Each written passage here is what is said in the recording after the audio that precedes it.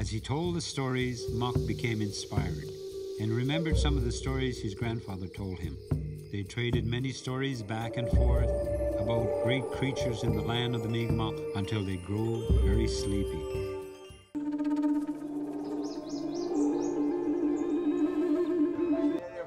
Yes, sir. Yeah, no, I, that's that's one of, that's one of my biggest regrets. Okay, all right. I'm sure, you know, around the 29th, 30th, 31st, there's going to be some sadness around, oh, and I'm sure there will be.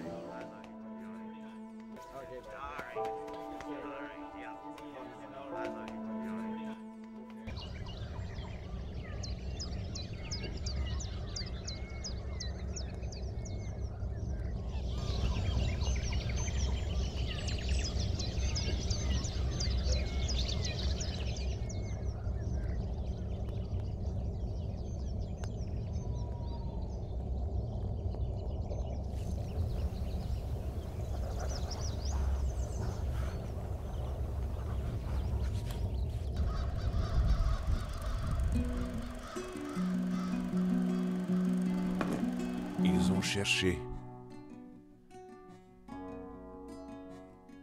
Ils ont cherché et cherché longtemps.